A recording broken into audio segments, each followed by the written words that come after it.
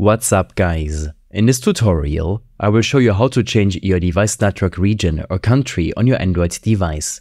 This should be quite an easy tutorial. For more information, click on the first link in the description below. The easiest and most effective way to change your region is by using a VPN service. There are plenty of options available, and we suggest using Privado VPN as they offer the best value for their users.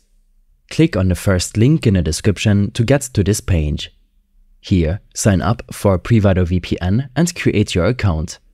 When completed, open the Google Play Store app on your Android device and search for Privado VPN. Download and install this application. Once the installation is complete, open the Privado VPN app.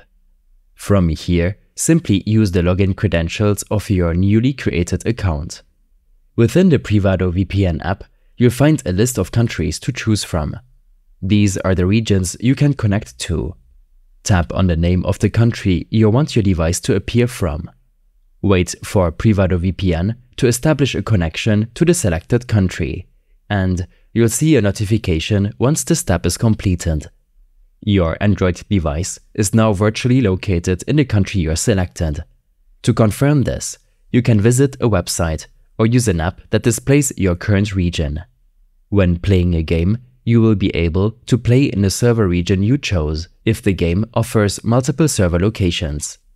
You also have the option to watch Netflix series and other content that is geo-blocked in your country more applications and information regarding changing your region will be in our extensive guide linked in the description below.